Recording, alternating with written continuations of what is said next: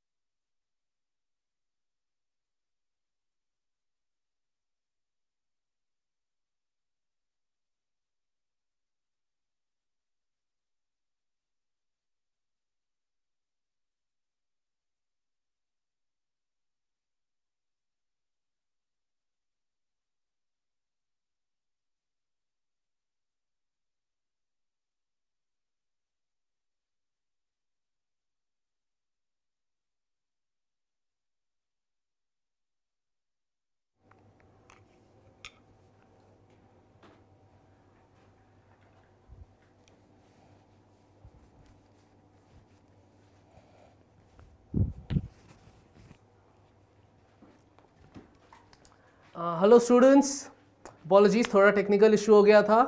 But any anyway, अब मेरी आवाज़ क्लियर है। मेरे को पता था बीच पीछे एक uh, बहुत वियर्ड सा साउंड आ रहा था बैकग्राउंड में जो बीच में बहुत बढ़ गया था। That was when you were switching the mic लेकिन अब मेरे को थोड़ा सा कंफर्मेशन देना इफ़ इट्स क्लियर और तब हम लोग स्टार्ट करेंगे सेशन को लेके। जस्ट एक confirmation on your end students session start कर देंगे। ओके थैंक यू धीरू चलो लेट्स स्टार्ट तो सबसे पहला है if two bodies try to occupy same space collision takes place simple point of view से है कि एक बॉडी एक जगह पे है, दूसरी बॉडी उसकी जगह लेना चाह रही है, या फिर दोनों बॉडी दो तरफ़ से आके सेम जगह पे सेम टाइम पे पहुँचना चाह रही है। तब होता है कोलिशन इतना लॉजिकल भी सोचने की ज़रूरत नहीं, बस दो ऑब्जेक्ट धक्का खाते हैं, वही कोलिशन है। सिंपलर वे टू लुक ये टेक्निकल डेफिनेशन है, लेकिन this is the simpler way to look okay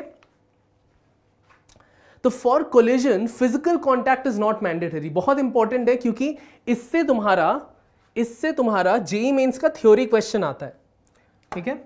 इससे तुम्हारा just a moment JEE Mains का थ्योरी क्वेश्चन आता है कि कॉलिजन में हम लोग ज़्यादातर टाइम जब पिक्चर करते हैं कि वो धक्का खा रहा है फ़िज़िकल कॉन्टैक्ट लग रहा है। लेकिन इट्स नॉट ऑलवेज इंपॉर्टेंट सबसे कॉमन एग्ज़ाम्पल इसका होता है कि क्वेश्चन भी तुम्हें जेई में ऐसी टाइप के देंगे कि अल्फ़ा पार्टिकल अल्फ़ा पार्टिकल या अल्फ़ा पार्टिकल है अल्फ़ा पार्टिकल तुम्हें शायद पता है प्लस टू ई चार्ज होता है and an alpha particle is shot towards a nucleus और जैसे वो जा रहा है, याद रखो ये अल्फ़ा पार्टिकल कभी न्यूक्लियस से टकरा नहीं पाएगा, क्योंकि from an energy point of view ये जब लॉन्च हुआ, ये काइनेटिक एनर्जी के साथ लॉन्च हुआ, एक स्पीड है काइनेटिक एनर्जी है। और जैसे जैसे वो उसके पास जाता है, तब तक वो पोटेंशियल एनर्जी में चेंज हो जाता है, उसका स्पीड कमता जाता है। और टेक्निकली वो कभी नहीं टकराएँगे, वो ये अल्फ़ा पार्टिकल पास तक आएगा, फिर छिटक जाएगा, हो सकता है न्यूक्लियस भी दूसरे साइड में छिटक जाए। Yes closest distance of collision closest distance of approach जिसको बोलते हैं। ठीक है, ये वाला एक्चुअली जो क्वेश्चन है, ये लेटर इलेक्ट्रोस्टैटिक्स में पढ़ेंगे, इसका स्पेसिफिक वाला केस लेकिन right now just as an example कि यहाँ पे तुम्हारा विदाउट कॉन्टैक्ट कोलिजन हो सकता है। ओके ये ओब्लिक कोलिजन वगैरह सब हो सकते हैं। चलो let's move on Mohammad sir subscription वाला क्लास चलता क्या आप लोगों का? हाँ चलता है मोहम्मद। सारे डिटेल्स तुम्हें नीचे इन्फिनिटी लर्न डॉट कॉम का लिंक रहेगा। वहाँ देख लेना। सारे डिटेल्स मिल जाएँगे। So example alpha particles bombarded towards a nucleus types of collision सबसे पहला डिविजन हो पाता है based on the direction of motion हाँ ये भी एक इंपॉर्टेंट पॉइंट है जो क्लास से थोड़ा सा कर रहे हैं, क्योंकि स्टूडेंट सब्सक्रिप्शन के बारे में पूछ रहे हैं कि राइट ना थर्टी परसेंट सबके लिए है और अगर आप लोग, आपके पेरेंट्स डिफेंस या पैरामिलिट्री में है then in that case you get a seventy six percent discount okay तो जस्ट चले जाना इन्फिनिटी लर्न डॉट कॉम में, सारे डिटेल्स तुम्हें वहाँ मिल जाएँगे। अच्छा सबसे पहला based on the direction of motion दो टाइप के कोलिजन होते हैं। एक होता है हेड ऑन कोलिजन एक होता है ओब्लिक कोलिजन ठीक है, दोनों के बारे में आज पढ़ने वाले हैं। हेड ऑन कोलिजन कब होता है? हेड ऑन कोलिजन को अक्सर बोला जाता है एज वन डिमेंशनल कोलिजन क्योंकि एग्ज़ाम्पल समझो। एग्ज़ाम्पल होता है कि सपोज़ एक ये बॉल है और एक ये बॉल है। दोनों बॉल्स एक दूसरे की तरफ़ आ रहे हैं। सीधे स्ट्रेट लाइन पे एक दूसरे की तरफ़ आ रहे हैं। ये है उन लोग का लाइन कनेक्टिंग और आके दोनों टकरा के वापस ऐसे धक्का खाएँगे। फिर वापस उस तरफ़ चले जाएँगे।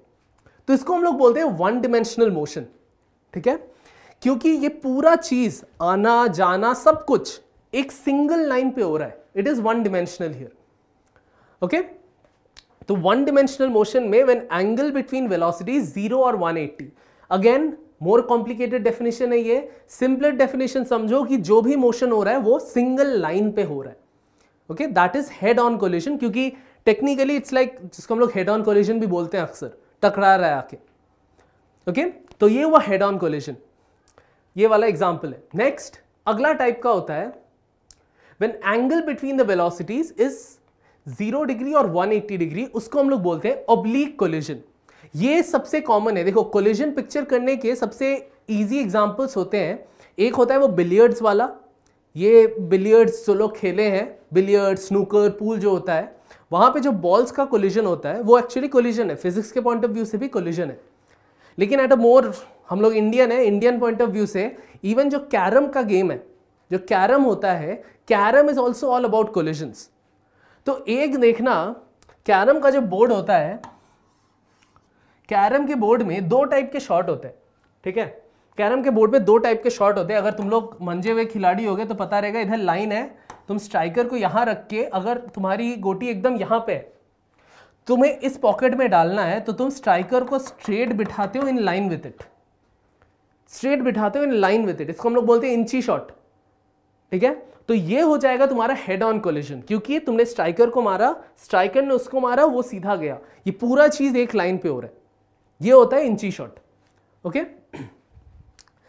और एक टाइप का होता है कि सपोज़ गोटी समवेयर अराउंड यहाँ पे है और तुम्हें इस साइड से मारना है। तो तुम शॉट को कैसे मारते हो? तुम मारते हो, ऐसे मारते हो और ये छिटक के उधर जाता है। इसको हम लोग बोलते हैं एंगल शॉट कैरम में। तो इसको, ये वाला हो जाएगा तुम्हारा ऑब्लिक कोलिजन क्योंकि यहाँ पे ये इस डायरेक्शन में मूव कर रहा है, लेकिन जो दूसरा ऑब्जेक्ट है, वो दूसरे एंगल पे चला गया। तो इसको हम लोग बोल देंगे as oblique collision as long as एक लाइन पे नहीं है तो अलग अलग लाइन पे जा रहा है, उस वो डिफाइन करेगा हेड ऑन कोलिजन है कि ऑब्लिक कोलिजन ठीक है? नेक्स्ट अलग पार्ट में डिवाइड कर सकते हैं कोलिजन्स को. सबसे पहला है इलास्टिक कोलिजन इलास्टिक कोलिजन में स्टूडेंट्स का कंफ्यूजन रहता है कि इलास्टिक कोलिजन हमेशा इलास्टिक बॉडीज में होता है. रबर में, वगैरह में, ऐसा कोई बात नहीं है. टेक्निकली जो प्योरली इलास्टिक बोलते हैं, वो किसी बॉडी में नहीं होता है. ठीक है? तो इलास्टिक कोलिजन क्या है? जहाँ पे kinetic energy after collision is equal to kinetic energy before collision अब जब भी दो बॉडीज कोलाइड करते हैं, क्योंकि उनका स्पीड रहता है, उनमें काइनेटिक एनर्जी होती है। और कोलिजन के टाइम वो काइनेटिक एनर्जी थोड़ी उसको मिलती है, थोड़ी इसको मिलती है, लेकिन मोस्ट केसेस में, तुम कैरम का सोच लो बिलियर्ड्स का सोच लो कोलिजन के टाइम एक साउंड भी रिलीज़ होता है। कभी अगर मेटल बॉल्स वगैरह हो स्पार्क्स भी रिलीज़ होता है लाइट भी रिलीज़ होता है। वो एनर्जी आ कहाँ से रही है? वो एनर्जी आती है उन दो बॉडीज का काइनेटिक एनर्जी से ही। तो इसीलिए टकराने के बाद मोस्ट केसेस में दोनों बॉडी का टोटल काइनेटिक एनर्जी कम जाता है। क्योंकि कुछ हद तक एनर्जी तुम्हारा लाइट में चला गया, कुछ साउंड में चला गया इधर उधर फैल जाता है। लेकिन अगर इलास्टिक कलिजन का बात करें तो वो नहीं होता है। इलास्टिक कोलिजन में आफ्टर कोलिजन और before collision kinetic energy conserve रहता है। मतलब इलास्टिक कोलिजन में कुछ साउंड नहीं निकलेगा लाइट नहीं निकलेगा, कुछ नहीं होगा। Kinetic energy will remain conserved okay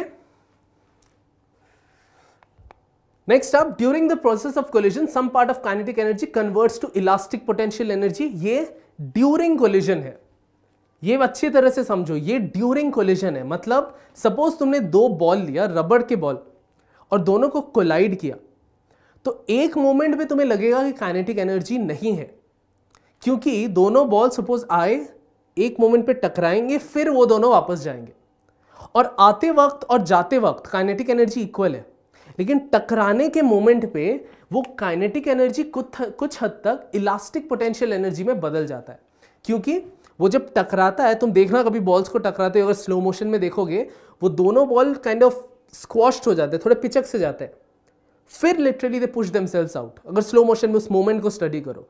तो वहाँ पे काइनेटिक एनर्जी पोटेंशियल एनर्जी वो इलास्टिक पोटेंशियल एनर्जी में कंजर्व हुआ, फिर वो इलास्टिक पोटेंशियल एनर्जी वापस काइनेटिक एनर्जी में उसको निकाल दिया। Okay okay? नेक्स्ट टाइप होता है इन इलास्टिक कोलिजन और इन इलास्टिक कोलिजन सबसे कॉमन टाइप के हैं। इलास्टिक का रियल लाइफ में एग्जांपल नेक्स्ट टू नथिंग है। कुछ मॉलिक्यूलर कुछ एटॉमिक लेवल पे होते हैं, लेकिन आसपास में तुम्हें इलास्टिक प्योरली इलास्टिक कोलिजन जिसको बोलते हैं, वो तुम्हें दिखेगा ही नहीं। Good afternoon Prem. तो काइनेटिक इसमें क्या होता है? Kinetic energy after collision is less than the kinetic energy before collision expected collision process में कुछ एनर्जी का लॉस हो गया है।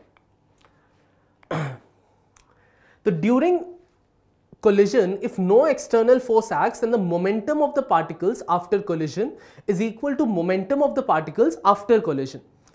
Momentum of particles before collision. ये one of the most fundamental formulas है कोलिजन का ज़्यादातर क्वेश्चन सॉल्व करने में तुम्हें यही फॉर्मूला लगाएगा ठीक है एक काइनेटिक एनर्जी का भी आता है लेकिन काइनेटिक एनर्जी वाला formula I will recommend that don't follow ठीक है मेरा रिकमेंडेशन होगा कि उसको फॉलो मत करो वो कॉम्प्लिकेट करेगा तुम्हारा कैलकुलेशन तो initial momentum is equal to final momentum मतलब सपोज़ दो बॉडीज है, एक इधर है, एक इधर है, इसका स्पीड है वी वन इसका स्पीड है वी टू ठीक है? या सपोज़ दोनों को सेम साइड में ही करते हैं, तब सिंपलर होगा। तो इसका अगर मास m1 है, इसका अगर मास m2 है, ये दोनों आके कोलाइड करते हैं तुम बोलोगे कि, सर, ये तो दोनों सेम साइड में जा रहे हैं कोलाइड कैसे करेंगे? V1 का स्पीड अगर v2 से ज़्यादा हुआ तो ऑफकोर्स कोलाइड करेंगे। इधर जाते जाते ये पीछे से आके मारेगा धक्का। वो भी कोलिजन हुआ। तो बाद में आफ्टर कोलिजन सपोज़ ये m1 का स्पीड हो जाता है v1 डैश और m2 का हो जाता है v2 डैश वेलोसिटी बदल जाता है आफ्टर कोलिजन लेकिन मोमेंटम हमेशा कंजर्व्ड रहेगा। मतलब m1 v1 plus m2 v2 ये था इनिशियल मोमेंटम स्टार्टिंग में। It will be equal to m1 v1 dash plus m2 v2 dash और इंपॉर्टेंट चीज़ है कंजर्वेशन ऑफ़ मोमेंटम हर केस में, हर टाइप के कोलिजन में कंजर्व रहेगा। ये जो एनर्जी वाला है, मैं क्यों इग्नोर करने बोल रहा हूँ? क्योंकि एनर्जी वाला चीज़ इलास्टिक में रहेगा इन इलास्टिक में नहीं रहेगा कॉम्प्लिकेट हो जाता है।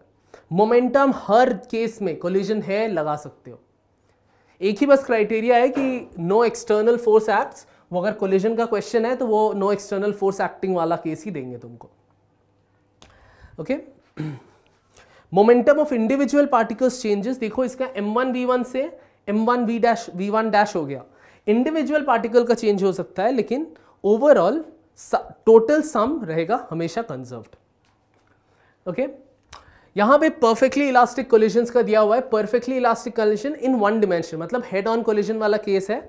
तो यहाँ पे u1 u2 इनिशियल वेलोसिटीज है v1 v2 फाइनल वेलोसिटीज है m1 m2 दोनों मासेस है। तो ये दो फॉर्मूला स्टूडेंट्स मैं रेकमेंड करूँगा कि तुम लोग इन दोनों को याद रखो।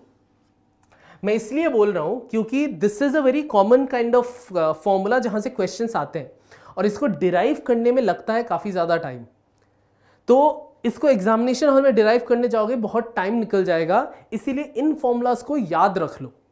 क्योंकि ये अक्सर तुम्हें काम दे देंगे। ये तुम्हें डायरेक्टली क्या बताते हैं? ये तुम्हें डायरेक्टली ये बताते हैं कि दो मासेज हैं, दोनों का स्पीड सपोज़ यू वन है, इसका यू टू है। इसका mass M one M two है। तो धक्का खाने के बाद इसका स्पीड अगर v1 हुआ, इसका v2 हुआ, वो v1 और v2 के वैल्यूज़ क्या होंगे? डायरेक्टली आ जाते हैं। क्योंकि इसको अगर तुम एग्जामिनेशन हॉल में डिराइव करने जाओ तो एक तो कोएफिशिएंट ऑफ़ रेस्टिट्यूशन से जाना पड़ेगा, जो हम लोग बाद में पढ़ेंगे। या तो काइनेटिक एनर्जी से जाना पड़ेगा उसमें टाइम ज़्यादा लगेगा। तो माई रिकमेंडेशन फॉर्मूला को याद रखो और याद रखने के लिए बहुत कॉम्प्लिकेट भी नहीं करना पड़ेगा। तुम देखो एक टाइप के सिमेट्री दिखेगा तुमको। फॉर्मूला में सबसे पहले जिसका भी वेलोसिटी है, ठीक है? फ़र्क नहीं पड़ता, नीचे डिनोमिनेटर सेम रहेगा। एम वन प्लस एम इसका भी एम वन प्लस एम दोनों का सेम डिनोमिनेटर सेम है। न्यूमरेटर में तुम इसको याद रख सकते हो, जिसका भी स्पीड है दूसरे वाले का two M one U one है। दूसरे मास का इनिशियल मोमेंटम इंटू टू और उधर M two minus M one into U two just एक फॉर्मूला को अगर याद कर लो, अगला फॉर्मूला देखो सेम जस्ट उसका रिवर्स है। यू वन और यू टू के जगह रिवर्स हो गए दैट्स इट ठीक है? तो इन दोनों फॉर्मूलाज को आई विल रेकमेंड कि तुम याद रखना।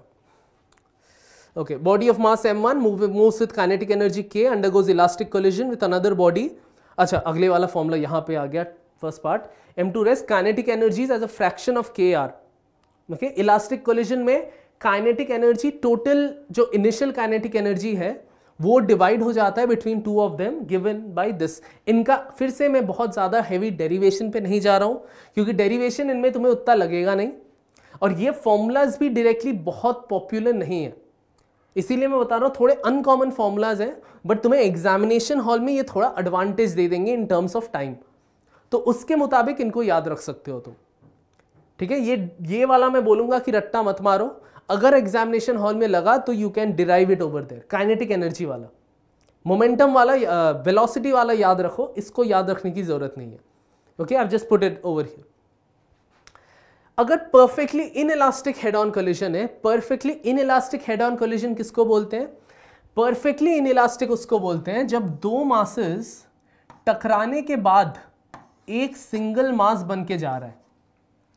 एक सिंगल मास बन के जा रहा है। जैसे दो क्ले बॉल्स हो गए, सबसे कॉमन एग्ज़ाम्पल होता है क्ले बॉल का। दो क्ले बॉल आए, दोनों क्ले बॉल्स को तुमने टकराया, वो चिपक जाएँगे एक साथ। बाकी उनका मूवमेंट वो चिपक के है। तो अगर दो मासेस ऐसे टकराते हैं कि after the collision they behave as one mass तो उसको हम लोग बोलते हैं perfectly inelastic collision perfectly inelastic collision का डिफाइनिंग प्रॉपर्टी ये होता है कि उसमें काइनेटिक एनर्जी का लॉस सबसे ज़्यादा होता है इट्स मैक्सिमम इनइलास्टिक में कुछ तो लॉस हो रहा है, वही पढ़े थे, वही इनइलास्टिक है। परफेक्टली इनइलास्टिक में मैक्सिमम काइनेटिक एनर्जी का लॉस होता है। ओके? कॉमन वेलोसिटी, ये वाला, देखो, अगर इसका स्पीड है m1 दोनों का डायरेक्शन सेम करते हैं डायरेक्शन उलट गया तो चीज़ बदल जाएगा m2 और फाइनल वेलोसिटी है v देन सिर्फ़ कंजर्वेशन ऑफ़ मोमेंटम से तुम्हारा क्या आएगा? M1 u1 plus m2 u2 is equal to इसका it's now behaving like a single body with mass of m1 plus M two into V तो v हो गया m1 u1 plus m2 u2 by M one plus M two loss and kinetic energy का भी formula अगर अगर direct लगाना चाहते हो, लगाओ। मेरा रिकमेंडेशन है कि मत लगाओ। जब ज़रूरत पड़ेगी डिराइव कर लेना। डिराइव मतलब ये फॉर्मूला डिराइव नहीं करना पड़ेगा वैल्यूज़ के अकॉर्डिंग आंसर निकालना। फॉर्मूला रट्टा मत मानने जाओ। Okay if the particles are travelling in opposite directions before colliding then similar formula है, बस U one plus U two हो जाता है, क्योंकि यहाँ पे याद रखना, जब भी यू वन और यू टू बिठाओगे डायरेक्शन के अकॉर्डिंग पॉजिटिव और नेगेटिव लगाना है। क्वेश्चंस करेंगे, मैं जस्ट अभी थ्योरी के ऊपर से जा रहा हूँ। U1 और u2 अगर सेम डायरेक्शन में है then it is u1 minus U two लेकिन अगर u2 इस डायरेक्शन में है तो u2 को हम माइनस यू टू करेंगे. तो minus of minus would make it plus ये इवन मोमेंटम के रिलेशंस में भी ट्रू है. तो उसका ध्यान रखना कि तुम्हारा वेलोसिटी ऑपोजिट डायरेक्शंस में है कि सेम डायरेक्शंस में है. अकॉर्डिंगली तुम डालना. इसीलिए मैं बोल रहा हूँ इन फॉर्मुलास को रट्टा मत मारो. मोमेंटम वाला याद रखो और इसको याद रखो. इसमें यू वन और यू टू अकॉर्डिंगली अगर सामने वाला डायरेक्शन पॉजिटिव डिफाइन कर दिया है, तब यू वन उस साइड है तो पॉजिटिव अगर दूसरा मास भी उसी टाइप जा रहा था तो यू टू भी पॉजिटिव अगर वो इस साइड आ रहा है तो यू टू नेगेटिव तो इसको एकमात्र याद रखो, इस फॉर्मूला को इवन इस फॉर्मूला को याद रखने की ज़रूरत नहीं है. ये फॉर्मूला तो ऐसे ही झट से निकल आएगा. ठीक है? डोंट रिमेंबर दिस और this formula get the answer simple kinetic energy निकाल सकते हो इनिशियल और फाइनल सबट्रैक्ट करके वो इजियर होता है देन यूजिंग दिस इसमें तुम गलती करने के चांसेस बढ़ जाते हैं। चलो, ये है common question this is ballistic pendulum ballistic pendulum का सेटअप है कि एक पेंडुलम लटक रहा है एट रेस्ट और मैंने इस साइड से एक गोली मारी। वो गोली जाके यहाँ पे हिट की okay that bullet goes and hits into this और सोच सकते हो वो पेंडुलम को ऐसे आगे लेके चला जाएगा। Pendulum will move on its path a bit तो यहाँ पे जो कोलिशन होता है that is a perfectly inelastic collision क्यों? क्योंकि ये बुलेट इसमें लगने के बाद इस, ये दोनों एक साथ लाइक बुलेट अंदर धंस जाता है।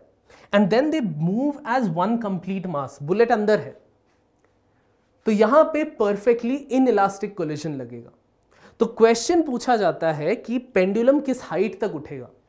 जनरली ये या फिर नीचे का वेलोसिटी इधर ऑफ़ दीज टू पूछा जाता है। तो देख लेते हैं पहले कि कैसे आएगा, क्या आएगा will derive the entire thing क्योंकि एक टाइप का क्वेश्चन है विच इज़ इंपॉर्टेंट सबसे पहले मोमेंटम कंजर्वेशन वो स्टेप वन हमेशा स्टेप वन मोमेंटम कंजर्वेशन के अकॉर्डिंग इनिशियल मोमेंटम क्या है? सिर्फ़ एम वी नॉट ये तो एट रेस्ट है। कैपिटल एम इसका मास सपोज़ कैपिटल एम था ओरिजिनली ये तो एट रेस्ट है। तो initial momentum is just M V naught that is equal to the final momentum final momentum में टोटल मास अब हो गया capital M plus small M और suppose right after collision it speed is V सिर्फ़ right after और right before collision को देखना है मेरे को. स्पीड इज़ वी तो it is capital M plus small M into V मतलब V is equal to capital M plus small M sorry small mv small mv naught divided by capital M plus small M मतलब ये धसने के बाद इसका speed है v. अब बस तुम्हें निकालना है वर्क पर एनर्जी के अकॉर्डिंग कि ये किस हाइट तक जाएगा। तो सिंपल है। राइट right नाउ इसका काइनेटिक एनर्जी कितना है? इसका काइनेटिक एनर्जी होगा half capital M plus small M क्योंकि टोटल मास अब ये है, और उसका स्पीड है v into V square is equal to M G H kinetic energy will be equal to potential energy तो m के जगह भी यहाँ पे capital M plus small M आएगा इंटू जी एच ठीक है? क्योंकि वही मास उठ रहा है। इनको हटाओ यहाँ से। तो v square is equal to sorry v is equal to root over of two G अच्छा मेरे को h चाहिए था ना माई बैट हमें एच चाहिए था तो हम लोग इसको h के टर्म्स में लिखेंगे। h is equal to V square by two G which is equal to v हमारे पास है it is one by two G into M V not divided by capital M plus small M whole square that is the height that it will rise to ठीक है, बस simple kinetic energy तो ये sir तो यहाँ पे देखो मैंने कोई फॉर्मूला नहीं लगाया काइनेटिक एनर्जी क्या होगा वगैरह वगैरह। जैसे दिए अकॉर्डिंगली डिराइव करो वर्क पर एनर्जी के अकॉर्डिंग राइट चलो, अगला इंपॉर्टेंट कॉन्सेप्ट होता है कोएफिशिएंट ऑफ़ रेस्टिट्यूशन स्टूडेंट्स किसी को भी कोई भी डाउट हो do let me know in the chat मेरे को चैट में पूछ रहे हो कि सर ये वाला पार्ट क्लियर नहीं हुआ, दोबारा बताना या इसको थोड़ा अलग से एक्सप्लेन करना I will do that okay coefficient of restitution पे आते हैं. Again a very important point और इसको एक्चुअली मैं बहुत इंपॉर्टेंस इसलिए देता हूँ क्योंकि इसके बदौलत काफ़ी सारे काफ़ी सारे क्वेश्चंस ईजियर हो जाते हैं.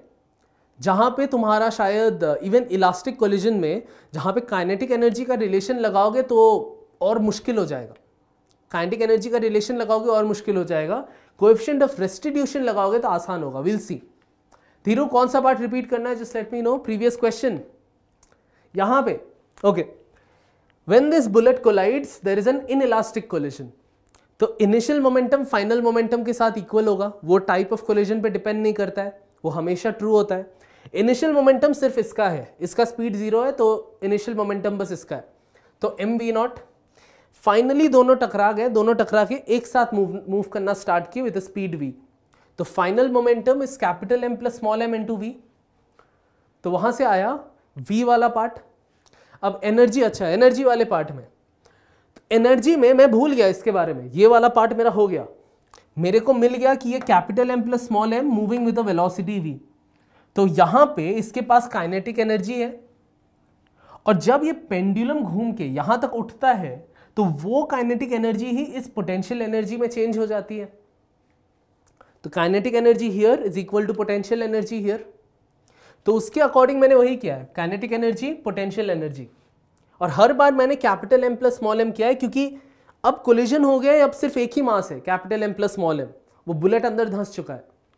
तो उसके अकॉर्डिंग बस काट कूट के हमारा आ गया दैट इज़ आवर आंसर ठीक है धीरू?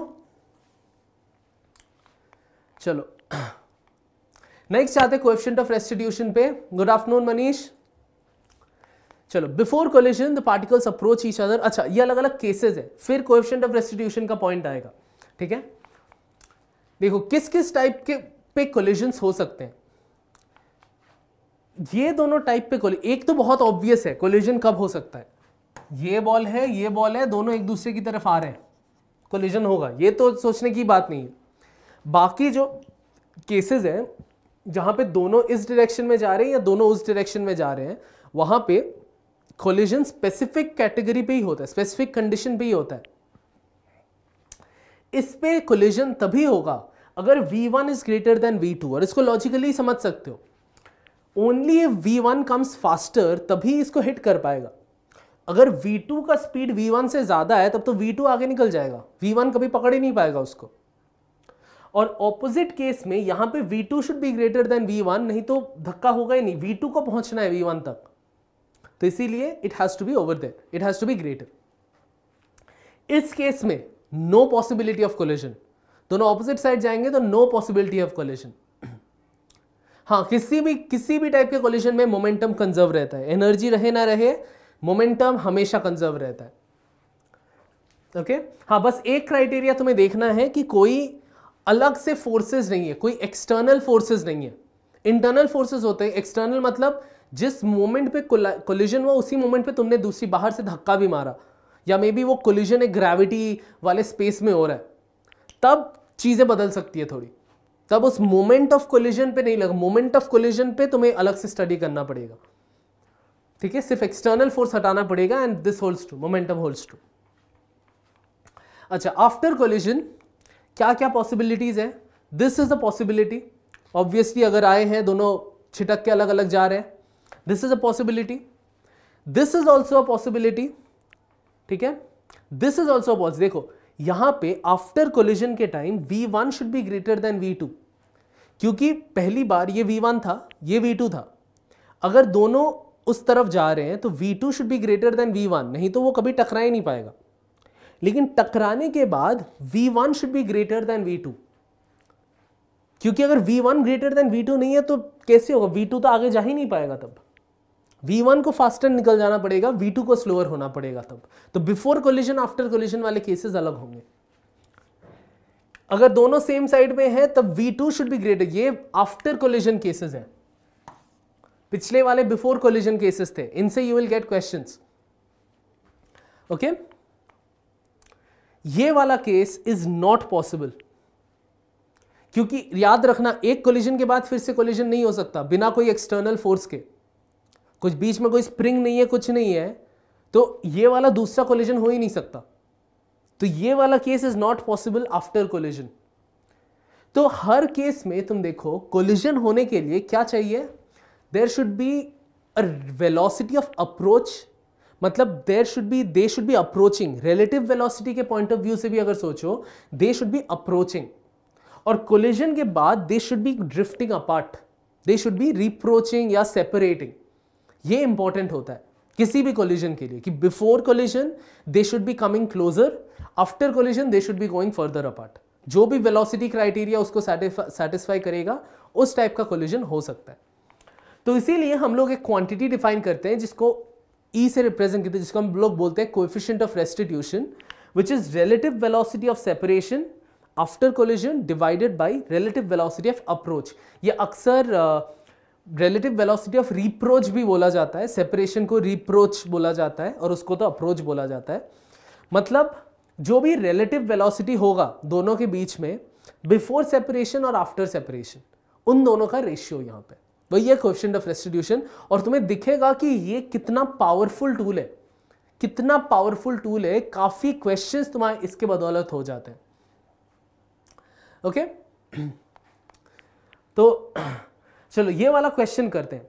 ठीक है let's do this question over here दिया हुआ find the coefficient of restitution for the velocities before and after collisions as shown in the figure तो before collision five and three है। तो सबसे पहले लिख लेते हैं कोएफिशिएंट ऑफ़ रेस्टिट्यूशन का फॉर्मूला क्या है? It is relative velocity after collision after collision divided by relative velocity before collision. ठीक है? आफ्टर कोलिजन रिलेटिव वेलोसिटी क्या है? After collision relative velocity is four metres per second क्योंकि देखो अगर तुम इसके पॉइंट ऑफ़ व्यू से उसको देखो रिलेटिव वेलोसिटी क्या है? It will be two plus two क्योंकि इट्स गोइंग ऑपोजिट ऑपोजिट जा रहे हैं दोनों तो स्पीड ऐड होगा। सो so, ऊपर वाला पार्ट होगा फोर नीचे while coming towards each other जब पास आ रहे हैं, तब भी वेलोसिटीज ऐड होगा relative velocities because they are coming towards each other तो divided by eight five plus three तो इस केस में the coefficient of restitution is going to be half yes correct ऑस it is going to be point five बाकी students भी do put it अगर कोई question आता है क्वेश्चन यूजुअली लिखा रहेगा इट्स अ क्वेश्चन अगर कोई डेरिवेशन है and anything I do it myself लेकिन क्वेश्चन पे साथ में डू ट्राई टू सॉल्व और चैट uh, में डालते रहना जैसे ईजोस ने डाला अभी। Do put it in the chat okay तो ये हो गया कोएफिशिएंट ऑफ़ रेस्टिट्यूशन कुछ important points for elastic collisions coefficient of restitution is always equal to one ठीक है? Question of restitution elastic collision में equal to one in elastic में between zero to one and perfectly inelastic जहाँ पे दोनों चिपक जाते हैं, वहाँ पे it will be equal to zero ये इजीली समझ सकते हो, क्योंकि क्वेश्चन ऑफ़ रेस्टिट्यूशन में velocity of separation by velocity of approach है। परफेक्टली इन इलास्टिक में तो दोनों चिपक गए। दोनों में कोई सेपरेशन वेलोसिटी है ही नहीं। सेपरेशन वेलोसिटी ज़ीरो इसीलिए question of restitution become zero okay in case of perfectly inelastic collision kinetic energy loss is maximum जैसे हमने किया। For perfectly inelastic collision is equal to zero ये तो ऑलरेडी दोबारा लिख दिया। Velocity of separation is zero hence the move bodies move together after collision ठीक है? जो अभी अभी जो बताया, वही चीज़। ओके एक और क्वेश्चन करते हैं। अच्छा ये ये अच्छा क्राइटेरिया काफ़ी पॉपुलर है। एक्चुअली जेई एडवांस के किसी एक पैटर्न में आता है सिमिलर टाइप का। एग्जैक्टली ये नहीं बट सिमिलर टाइप का। लेकिन ये उसका ब्रोकन डाउन वर्जन है। जैसे मैंने इसको तीन चार क्वेश्चन में फैलाया है अलग अलग चीज़ें, जो जेई एडवांस में एक ही क्वेश्चन में दी गई थी। तो यहाँ पे क्या दिया हुआ है? A ball is release from a height as determine the height to which the ball will bounce back after collision with floor.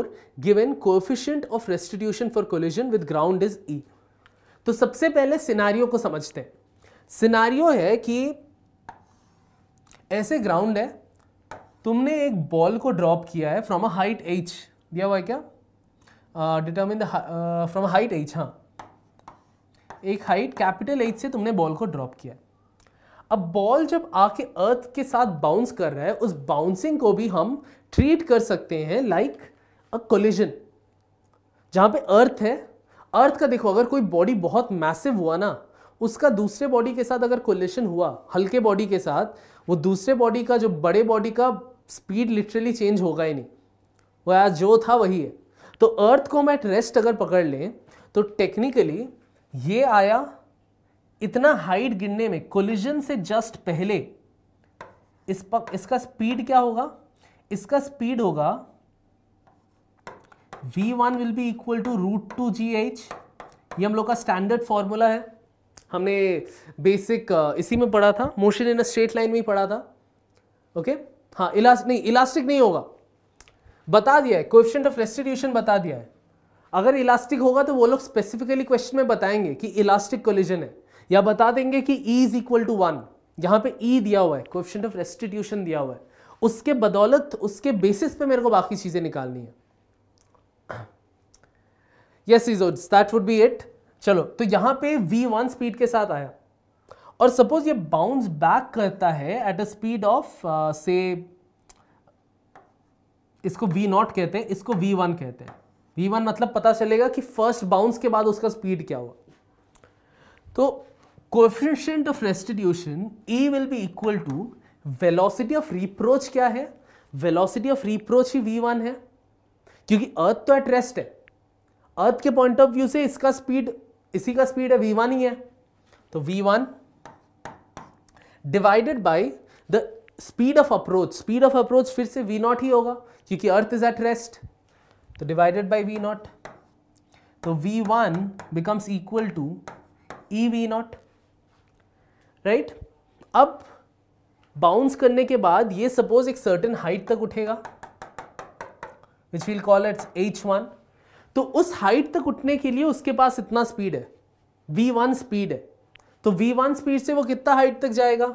Easy H one is going to be equal to V one square by two G again non relation है हमारा ये।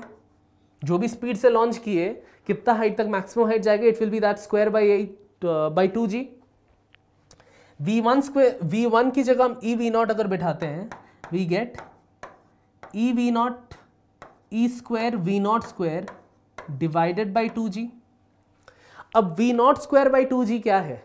वही H है। इस relation को देखो। ये we not है by the way V naught square by two G he H है। मतलब H one becomes equal to E square into H तो पहले बाउंस के बाद उसका हाइट जाएगा। It will become E square times of the initial height अब हम यहाँ पे नहीं रुक सकते, हमें एक पैटर्न निकालना है। हमें एक पैटर्न निकालना है कि ये V1 से अगर बाउंस बैक करता है मैक्सिमम हाइट H1 तक जाता है। फिर जब वो वापस आएगा, जब वापस इस पॉइंट पे आएगा, तब उसका स्पीड नीचे V1 रहेगा। याद रखो, ये एक बाउंस के बाद ऊपर जाके वापस आ रहा है, तब उसका स्पीड V1 रहेगा। क्योंकि जो भी स्पीड से लॉन्च हुआ, उसी स्पीड से वो फिर से हिट करने आएगा। तो जैसे ही वो V1 स्पीड से हिट करने आया सपोज़ हिट करने के बाद उसका स्पीड हुआ V2 V2 is the speed after the second bounce तो V2 भी सिमिलर कंडीशन पे होगा। मतलब तब की बार सेकेंड बाउंस के time coefficient of restitution E will be equal to V2 by V1 E will be equal to V2 by V1 क्योंकि कोएफिशिएंट ऑफ़ रेस्टिट्यूशन तो बदलेगा नहीं। वो स्टैंडर्ड है फॉर दैट कोलिजन तो उसके according I will get V2 will be equal to EV1 H2 will be equal to V2 square by 2G which will be equal to E square V1 square by 2G which means H2 will be equal to अब V1 square क्या है V1 square itself is E square V naught तो तुम्हारा आएगा e to the power V naught square by 2G जो कि होगा e to the power 4 into capital H V naught square by 2G ही capital H है तो अब कुछ पैटर्न दिख रहा है। पैटर्न ये है कि पहले बाउंस के बाद ई स्क्वायर बाई एच हुआ। ई स्क्वायर एच हुआ। सेकेंड बाउंस के बाद E to the power four by H हुआ। अगर आगे भी करते जाओगे तो तुम्हें दिखेगा तुम्हें दिखेगा कि अगर तुम एच थ्री निकालते हो मतलब पहला बाउंस सेकेंड बाउंस का हाइट थर्ड बाउंस के बाद हाइट क्या गया? तुम अगर सिमिलर मेथड से जाते हो तब की बार याद रखना E will be equal to V three by V two अगर उस रस्ते से जाते हो तो एच थ्री तुम्हारा आएगा E to the power six into H मतलब the standard relation is that H N N nth bounce के बाद height is equal to E to the power two N into H E to the power two N into H h. Not proportional E e square, e to the power 2n. You have to take care कि कितने bounce हुए हैं। कितने bounce के बाद वाला height तुम निकाल रहे हो। So it is e to the power 2n into H okay चलो I hope this is clear to students bouncing वाला केस लेट्स मूव अहेड अगले क्वेश्चन पे. सिमिलर चीज़ है। अच्छा यहाँ पे पूछा है total distance travelled can be calculate how many देखो हाँ ये अच्छा क्वेश्चन है। How many times will it bounce theoretically it will bounce infinite number of times अगर पूछा जाए theoretically it will bounce infinite number हर बार हाइट कमता जाएगा। बट टेक्निकली तुम पूछ रहे हो how many times it will bounce मतलब height after a bounce is zero मतलब उठ ही नहीं रहा अगर वो करते हो, वो तभी पॉसिबल होगा अगर your E to the power sorry your N becomes equal to infinity तभी वो चीज़ पॉसिबल हो सकती है।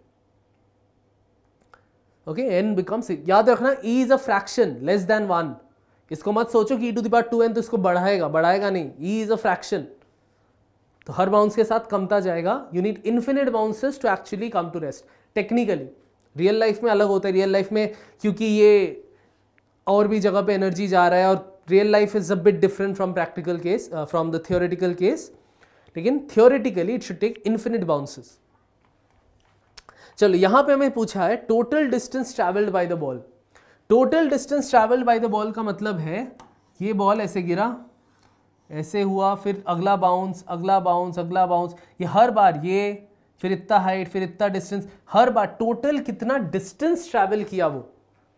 Before it comes to rest comes to rest infinite वाला केस है, जो हम लोग यहाँ पे इस्तेमाल कर सकते हैं। तो the total distance travelled space है हमारे पास हाँ ये देखो हाइट एच है, अगले बाउंस में distance travelled will be two E square H क्योंकि ई स्क्वायर एच तक तो हाइट उठेगा ये। उठने के time E square H travel करेगा, उतरने के time E square H travel करेगा। फिर E to the power four H उठने के time E to the power four H उतरने के टाइम तो technically the total distance travelled total distance travelled be equal to H plus two E square H plus two E to the power four H देखो, सिर्फ़ पहले वाले के time ही मैंने H लिया टू का फैक्टर नहीं लिया है, क्योंकि वो बस गिर रहा है एच अगली हर बार उसको ऊपर जाना है और नीचे आना है। इसलिए दो बार का आता है उस उस डिस्टेंस का। प्लस ऐसे ऐसे चलता जाएगा। तो यहाँ पे मैं इसको लिख सकता हूँ एच प्लस यहाँ पे मैं टू ई स्क्वायर एच अगर कॉमन ले लेता हूँ। तो मेरे पास रहेगा one plus E square plus E to the power four plus E to the power six so on all the way up till infinity, infinite terms.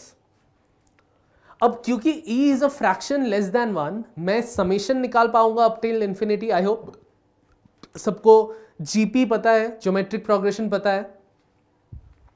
तो यही लगाएँगे।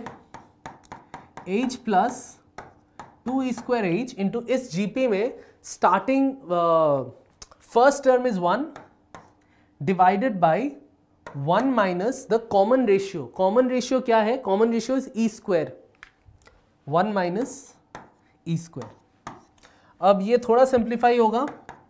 क्रॉस मल्टीप्लाई करोगे तो आएगा एच को कॉमन ले लेते हैं सबसे पहले। क्रॉस मल्टीप्लाई करोगे one minus E square plus two E square divided by one minus E square तो जो कि तुम्हें देगा one plus E square by one minus E square into H this is the total distance traveled by the particle before it comes to rest. ठीक है? Yes correct Dhiru is also correct एक और important point पे ध्यान देना इन questions they might instead of telling asking for distance travel वो even तुमसे पूछ सकते हैं व्हाट इज़ द डिस्प्लेसमेंट कि वो बाउंस कर रहा है टोटल डिस्प्लेसमेंट क्या है before it comes to rest total displacement total displacement is equal to just H is equal to just H क्यों? क्योंकि सिर्फ़ इसी का डिस्टेंस में डिस्प्लेसमेंट रहेगा। बाकी हर बार तो अगर पॉजिटिव डिस्प्लेसमेंट है नेगेटिव है। पॉजिटिव है नेगेटिव है। वो सारे कैंसिल करते जाएँगे। और टेक्निकली तुम अपने पॉइंट ऑफ़ व्यू से सोचो। तुमने यहाँ से छोड़ा था, जो भी हुआ हुआ, तुम भूल जाओ। एंड में वो यहाँ पे है। बस टोटल डिस्प्लेसमेंट इज़ एच तो बी माइंडफुल क्या पूछा गया है? डिस्टेंस पूछा गया है कि डिस्प्लेसमेंट अच्छा इस, इसका एक और पार्ट है। अच्छा total time taken by the ball to come to rest ठीक है? कितना टाइम लगेगा टू कम टू रेस्ट तो यहाँ पे कुछ डायग्राम्स है क्या हमारे पास? चलो, इसी केस में, इसी का कर लेते हैं। टेक्निकली मेरे को इसका टाइम निकालना है। कितना टाइम लगा? फिर इसका फिर इसका so on and so fourth ठीक है? सिर्फ़ सारे टाइम्स को ऐड करने पड़ेंगे मुझे टोटल टाइम निकालने के लिए। तो जनरली टाइम का फॉर्मूला होता है टाइम का फॉर्मूला होता है root over of two H by G ये होता है फॉर्मूला फॉर फ्री फॉल या उतना हाइट तक उठने के लिए कितना टाइम लगेगा। तो पहला जो केस है, जब सिर्फ़ गिरा just to fall in that let's call that time T naught T naught will be root over of two H by G क्योंकि उतना टाइम गिरा है वो। That is the time it takes अगली बार it climbs up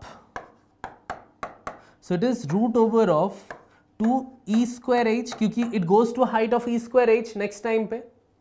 E square H divided by G लेकिन इसके बाद सामने एक फैक्टर ऑफ़ टू आएगा। फिर से वही लॉजिक क्योंकि पहला पार्ट ये टाइम एक बार इतना गिरता है।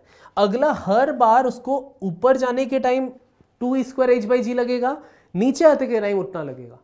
तो अगला हर after collision every jump will take double that time तो उसको हर बार डबल लगाते हुए जाना पड़ेगा। T two will be equal to इसको एक्चुअली सिंप्लीफाई ई स्क्वायर है तो इसको निकाल सकते हैं एज देखो, इसी पे यहीं पे लिख देते हैं। Two E root over of two H by G ठीक है?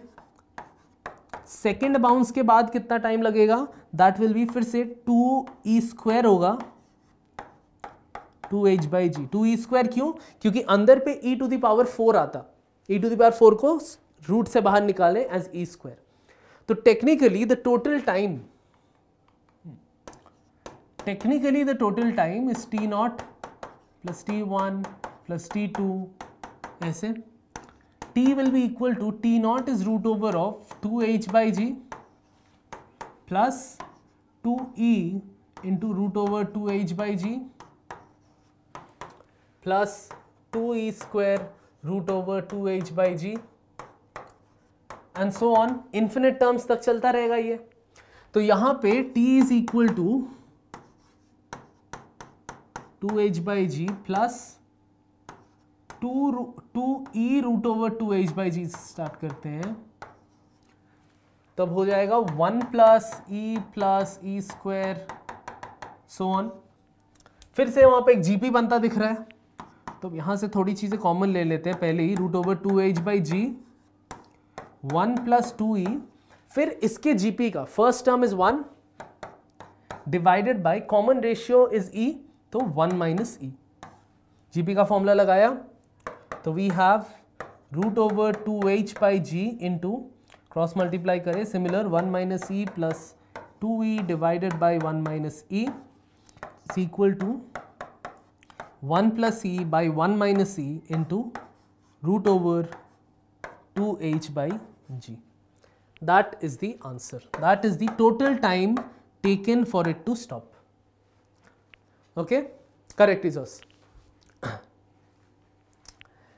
ठीक है स्टूडेंट्स लेट्स मूव ऑन अगले क्वेश्चन पे ये बाउंसिंग वाले के तीनों जो इंपॉर्टेंट चीज़ें हैं, वो सारी निकाल दिए height distance travelled time taken speed सब कुछ निकला हुआ है। Okay so any kind of question you get from here हो जाएगा। इस वाले क्वेश्चन को करते हैं। A heavy block of mass M collides with a small block of mass small m as shown determine velocity of the small block just after collision of e is equal to half and capital M is much much greater than small m अब इस point का मतलब ध्यान से समझो। Capital M much much greater than small m का मतलब है कॉन्सिक्वेंस है कि ये आफ्टर कोलिजन भी इसका स्पीड चेंज नहीं होगा। आफ्टर कोलिजन भी इसका स्पीड चेंज नहीं होगा। ठीक है? क्योंकि इतना हाई है वी कैन अप्रोक्सीमेट कि इट विल नॉट चेंज तो देखो कितनी आसानी से हो जाएगा with the coefficient of restitution according to the coefficient of restitution velocity of approach क्या है? Velocity of approach is 30 metres per second velocity of approach is 30 metres per second velocity of reproach क्या है? ये तो 20 metres पर second से ही उधर जा रहा होगा। ये उधर जाएगा विद स्पीड वी आया धक्का खाया ये एज इट इज़ जा रहा है ये उधर छिटक गया अब। विद स्पीड वी वो वी ही हमें निकालना है। सो so, अगर वो उस साइड वी से जा रहा है और ये it continues to move at 20 metres per second तो velocity of velocity of the reproach velocity of ये वाला होगा it will be v minus twenty e का वैल्यू दिया हुआ है हाफ़ तो half into thirty plus twenty is equal to v ये हुआ fifteen twenty plus fifteen v is thirty five metres per second देखो कितनी आसानी से हो गया कोएफिशिएंट ऑफ़ रेस्टिट्यूशन से। अगर मैं इसी को कंजर्वेशन ऑफ़ मोमेंटम लगाता, फिर उसके ऊपर मैं लगाता इवन वो वाला काइनेटिक एनर्जी का फॉर्मूला बहुत फैलता। तुम चाहते तो यहाँ पे you could have used the वो लॉजिक था, क्या कहते हैं? जो हमने फॉर्मूला किया ना वी वन और वी टू के, वो m one minus m two divided by m one plus m two into u one plus two m two u two by m one plus m two वो वाला भी लगा सकते थे, लेकिन वहाँ पे भी तुम्हें बहुत ज़्यादा सोचना पड़ता। वहाँ पे तुम्हें ये अप्रोक्सीमेशन अलग से लगाना पड़ता। तब जाके तुम्हारे आंसर आते coefficient of restitution is a lot quicker and a lot simpler okay चलो लेट्स मूव अहेड अगले क्वेश्चन पे। ये वाले तो कर लिए हमने। अरे, इसके आंसर कैसे छप गया यहाँ पे? माय बैड जो भी ये वाला देख ही लेते हैं। Large ball moving with speed 10 metres per second elastic collision with a dust particle of negligible mass moving in the same direction with speed of 2 metres per second यहाँ पे। Velocity of dust particle just after collision देखो, यहाँ पे coefficient of restitution दिया हुआ नहीं है, लेकिन बताया हुआ है इलास्टिक कोलिजन मतलब coefficient of restitution is equal to one और उसके बदौलत हमने सॉल्व किया चीज़. उसके बदौलत हमने सॉल्व किया. क्वेश्चन रेस्टिट्यूशन को वन बिठाया. Initially initially it is ten minus two same direction में, इसीलिए relative velocity will be ten minus two और after collision it is moving with speed v तो वहाँ पे v rash minus ten accordingly मेरा आ गया एटीन मीटर्स पर सेकेंड ठीक है? तो question of restitution is very powerful अगर मैं इसको इलास्टिक कोलिजन से, तब मेरे को वो मेथड लगाते फॉर्मूला लगाते, या फिर काइनेटिक एनर्जी के थ्रू लगाते, बहुत ज़्यादा टाइम गुजरता. इसको करते हैं खुद से. Says two masses 2m and m move with a velocity 2v and v as shown. Determine the velocity of both masses just after their elastic collision. ठीक है? 2m और m है moving with velocity 2v and v initial velocities ये है। तुम इसको, इससे भी कर सकते हो। या चलो दो क्वेश्चन उससे किए, एक फॉर्मूला लगा के कर लेते हैं। फॉर्मूला क्या है? फॉर्मूला था v1 one is equal to m one minus m two divided by m one plus m two into u one plus ये सारी चीज़ें मैं बताते हुए जाऊँगा। तुम्हें तब पता चलेगा फॉर्मूला में वैल्यूज़ डालते कैसे। Two m two u two divided by m one plus m two and v two थोड़ा स्पेस देके करते हैं, तब वहीं पे कैलकुलेशन हो जाएगा। V two would be m two my same चीज़, बस एम वन और एम टू के जगह बदल दो। M one m two u one u two के। M one plus m two into u two plus two m one u one divided by m one plus m two मैं student को बता रहा हूँ, ये याद रखना बहुत मुश्किल नहीं है। एक बार पैटर्न दिख जाए ना फॉर्मूला में कि जिसका भी निकालने है, उस नीचे वाला पार्ट तो हर जगह सेम ऊपर के पार्ट में एक पार्ट में m one minus m two रहेगा, एक में टू एम यू रहेगा। वी वन के time m one minus m two और दूसरा वाला एम टू के साथ आएगा सो याद रखोगे तो देखना, ये मैं बताऊँगा तो एग्जैक्टली exactly होगा नहीं तुम लोग को। दो तीन बार फॉर्मूला को देखना, एक पैटर्न ढूंढ लेना पैटर्न मिल जाएगा तो ईजिली याद रहेगा, जितना भी कॉम्प्लिकेटेड लगेगी। तो इसके अकॉर्डिंग वी वन चलो इसको मैं बॉडी वन पकड़ता हूँ, इसको मैं बॉडी टू पकड़ता हूँ। तो speed m one minus m two m one है two m minus m two है m divided by two m plus m is three m in two u one इसका स्पीड है two v plus two m two m two तो M ही है. Two m by three m into u two है we तो ये क्या आएगा? ये आएगा m by three m so two m v by three m इधर भी two m v by three m technically m cut जाएँगे सारे. ये आएगा टू बाई थ्री वी हाँ m by three two two by three v इधर भी two by three we तो वी वन आएगा फोर बाई थ्री वी और इसका क्या होगा? इसके केस में m two is equal to m m minus m one है two m divided by m one plus m two is three m plus two m one u one, two into तो यहाँ पे two into, two m into two v divided by फिर से three M. AIIMS को काटो सबसे पहले। M को काटो। तो मेरा इधर पे क्या आएगा? इधर पे आ रहा है एट वी बाई थ्री। अच्छा यहाँ पे एक वी भी है, साथ में। U two was just v. तो यहाँ पे आ रहा है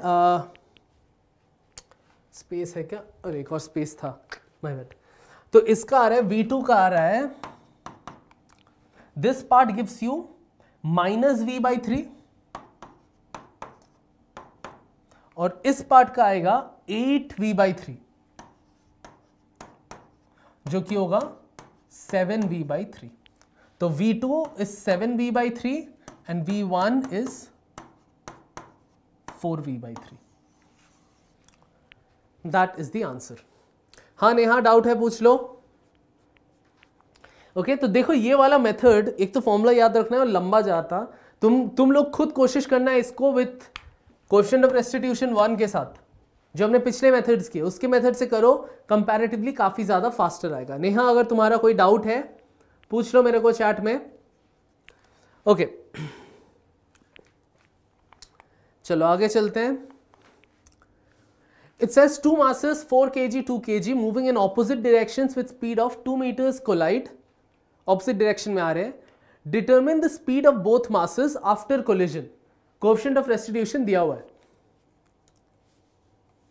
इलास्टिक से करो ना as in coefficient of restitution के पॉइंट ऑफ़ व्यू से बोल रहे हो? कोफिशिएंट ऑफ़ रेस्टिट्यूशन इसमें लग, इसमें लगा के देखो तुम। इसमें कोफिशिएंट ऑफ़ रेस्टिट्यूशन लगा के देखो तुम्हारा। सेम तरीके से आएगा, सिमिलर तरीके से आएगा, लेकिन उसके साथ तुम्हें यहाँ पे मोमेंटम के रिलेशन भी लगाने पड़ेंगे। ओके? मोमेंटम के रिलेशन भी तुम इसके साथ साथ लगा सकते हो। ओके. चलो फोर के जी एंड टू के जी वाला ये केस करते हैं कि ये फोर के जी है, ये टू के जी है। ये आ रहा है टू मीटर्स पर सेकेंड ये भी आ रहा है at two metres per second ठीक है? दोनों कोलाइड करने के बाद अलग अलग जाएँगे, दूसरे का स्पीड भी नहीं पता हम लोग को तो हम लोग पहला इक्वेशन निकालेंगे थ्रू द मोमेंटम ठीक है? पहला इक्वेशन निकालेंगे through the momentum so according to conservation of momentum so समझो बाद में आई एम अज्यूमिंग कि टकराने के बाद दोनों ऑपोजिट डायरेक्शन में जा रहे हैं। ठीक है? दिस इज़ बिफोर और आफ्टर का सीन है। आफ्टर का सीन है, ये फोर है, ये टू है ये इधर जा रहा है with speed of v one ये इधर जा रहा है with speed of v two ठीक है? अब कंजर्वेशन ऑफ़ मोमेंटम के अकॉर्डिंग मेरा क्या आएगा? सबसे पहले four into two minus two into two minus मैंने क्यों लगाया? क्योंकि इसका मोमेंटम ऑपोजिट डायरेक्शन में okay four into two minus two into two is equal to यहाँ पे four into v one four into v one minus two into v two. Minus two into v two. अब यहाँ से मेरा आएगा, ये eight minus four will be four तो four v one minus two v two is equal to four मतलब two v one minus v two is equal to two. ये है मेरा इक्वेशन वन। ये है मेरा इक्वेशन वन। इक्वेशन टू हम लोग को निकालना है from the coefficient of restitution उसके अकॉर्डिंग उसके according velocity of reproach is v1 one plus v two divided by velocity of approach is four two plus two एक साथ e का वैल्यू दिया हुआ है as half so technically half ये इधर करोगे तो टू तो v one plus v two is equal to two ये है मेरा सेकेंड इक्वेशन। साइमल्टेनियस सॉल्व करना है, two v one minus v two is equal to two और v one plus v two is equal to two. तो इसके साथ मैं इसको ऐड कर देता हूँ, two v one minus v two is equal to two.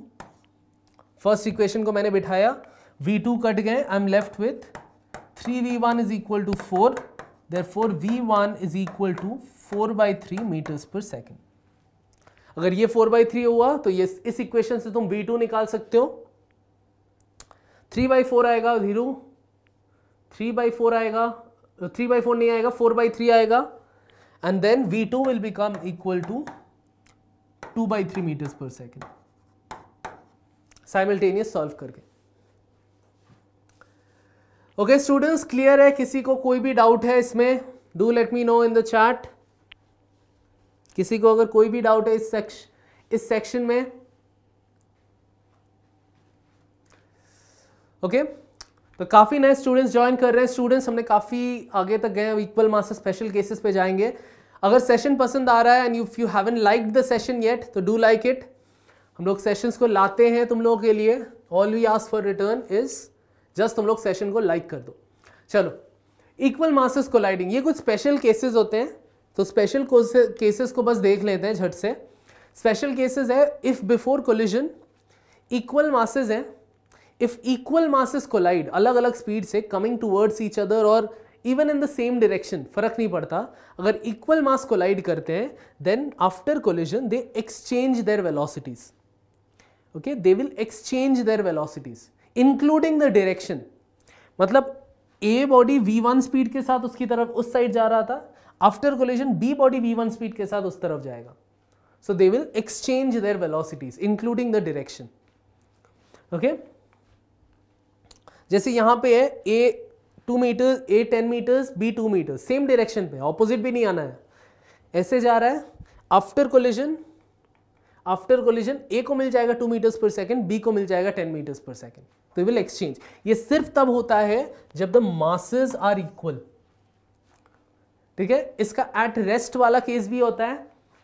At rest वाला केस मतलब अगर ये एट रेस्ट है सपोज़ बॉल ऐसे है, दूसरा बॉल आके इसको टकराता है अगर इक्वल मास हुआ दोनों में, फिर से वेलोसिटी एक्सचेंज होते हैं। According to that M A अब रेस्ट पे हो जाता है बी उस स्पीड से जाता है। मतलब ये खड़ा था, ये आके हिट किया, अब ये रुक जाएगा, ये उस स्पीड से आगे जाना स्टार्ट कर देगा। So they will exchange their velocities ये वाला एक केस है जिसको तुम लोग काफ़ी देखोगे न्यूटन क्रेडल बोलते हैं। बहुत सारे बॉल लगे रहते हैं, एक का एक साइड पेंडुलम जैसा। एक साइड पे पकड़ के उठा के मारोगे, इधर जाएगा तो उस साइड से बॉल निकलेगा। ऐसा नहीं कि सब में जाएगा। जैसे ये सारे अगर इन कॉन्टैक्ट हैं और ये ए आके इसको हिट करता है लिटरली इसके थ्रू बहुत minute minute minute minute collisions होते रहते हैं। होके यहाँ पे ये जो एफ़ वाला पीस है वो जाके निकल जाता है आगे। ओके okay, बीच में और वो ए आके इसके साथ चिपक गया यहाँ पे। सिर्फ़ वो एफ़ वाला निकला टेक्निकली बहुत छोटे छोटे कोलिजन हो रहे हैं अंदर पे लेकिन तुम्हें उसका इफ़ेक्ट कभी दिखेगा नहीं। और ये सारे त, ये तभी होंगे जब सारे मासेस इक्वल होंगे। Okay next when one mass is much much greater than the other mass ये वाला केस हम लोगों ने ऑलरेडी किया है कि अगर lighter particle undergoes head on collision with a much higher mass lighter particle rebounds with the same velocity well heavier particle remains approximately at rest मतलब अगर हैवियर बॉडी है एट रेस्ट लाइट पार्टिकल अगर धक्का खाता है light particle in perfectly elastic बता रहा हूँ, ये सारे ये सारे परफेक्टली इलास्टिक बता रहा हूँ मैं, ठीक है? लाइटर बॉडी धक्का खा के सेम स्पीड से छिटक जाएगा, बस। वो बॉडी बड़ा वाला बॉडी मूव ही नहीं करेगा, अगर उसका मास बहुत हाई रहा।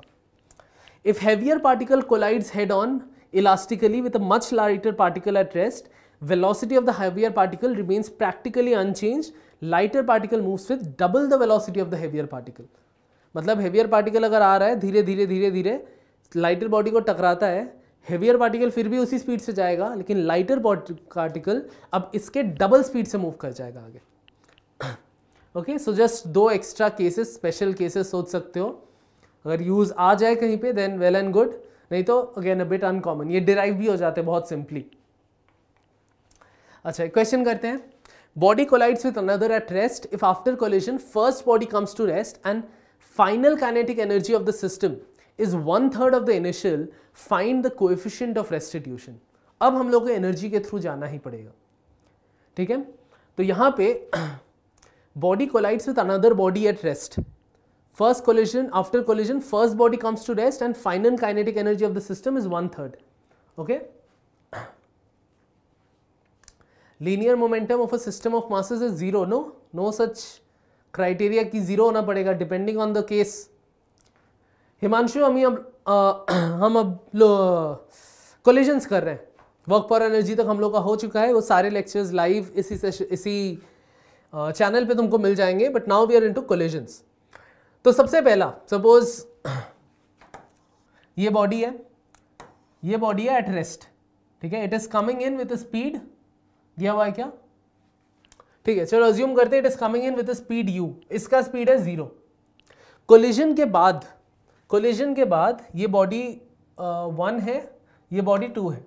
कोलिजन के बाद बॉडी वन रेस्ट पे चला जाता है और body two moves with speed of से वी राइट अब इसके according I can find out coefficient of restitution के बदौलत। Let's assume that the coefficient of restitution is e then e will be equal to v by u देखो relative velocity after collision relative velocity before collision इधर है v, इधर है u, क्योंकि दूसरा body was at rest in all cases तो v by you मतलब v is equal to e u अब बताया हुआ है कि final kinetic energy of system is one third of the initial तो इनिशियल काइनेटिक एनर्जी क्या था? इनिशियल काइनेटिक एनर्जी सिर्फ़ इसकी वजह से था?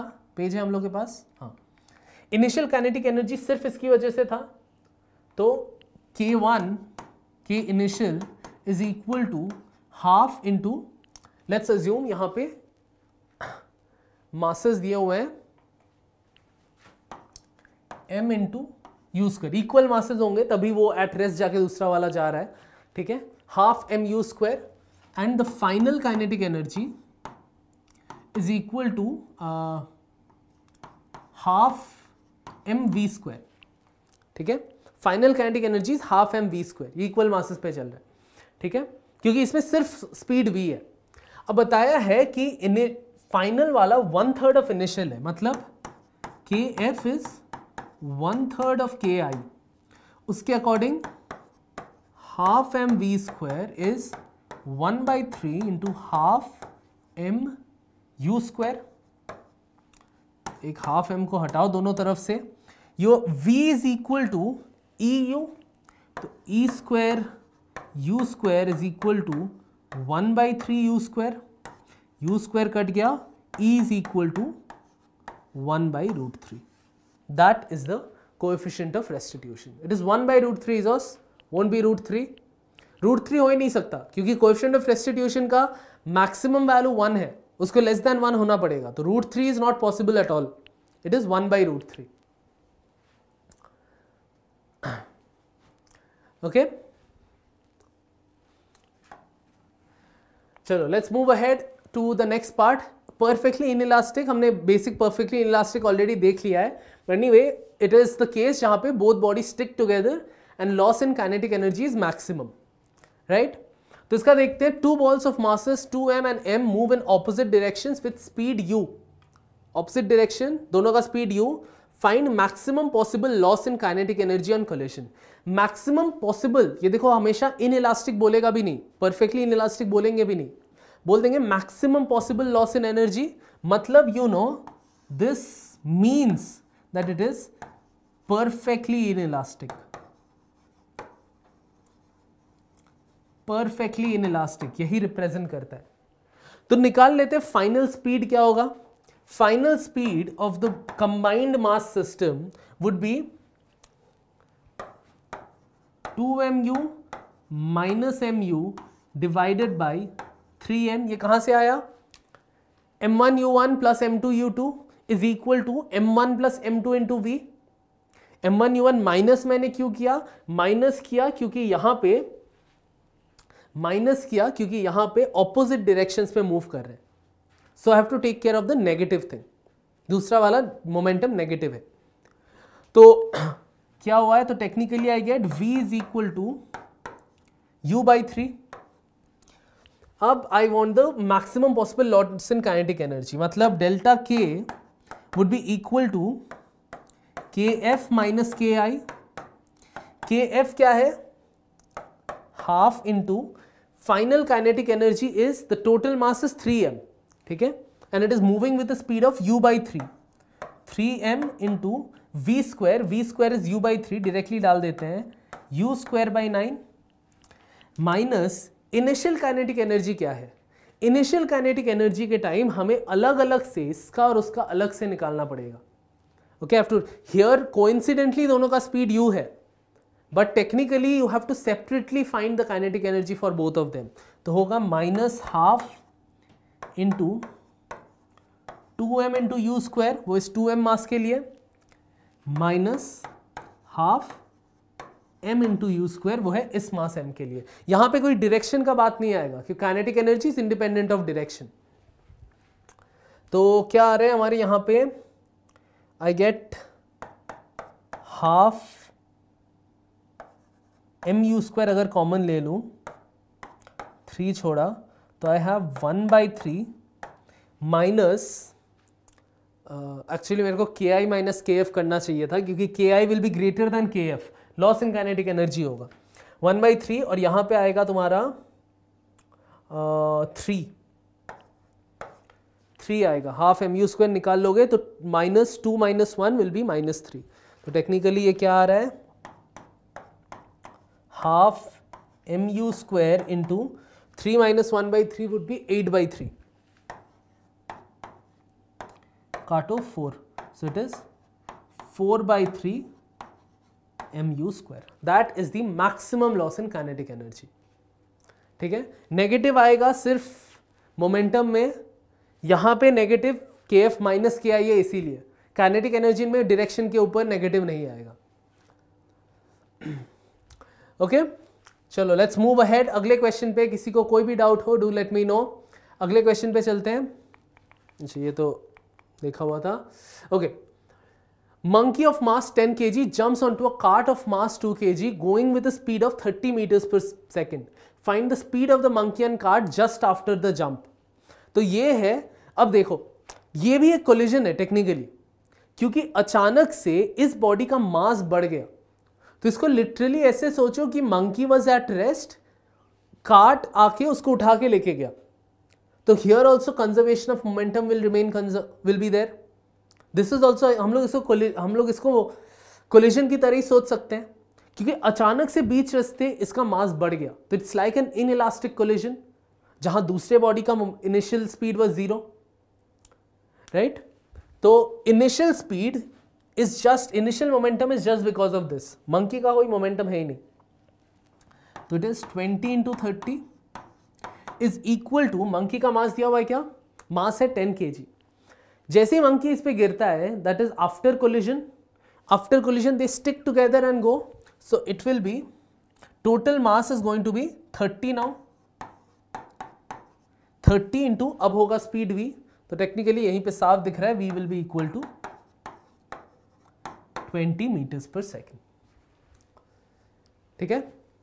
तो ये वाले केसेस भी अक्सर कोलिजन ऐसे लगते नहीं देखें। इन इलास्टिक में अक्सर these kind of questions will come where it would be like कि कोलिजन नहीं हुआ, लेकिन अचानक से मास बढ़ गया।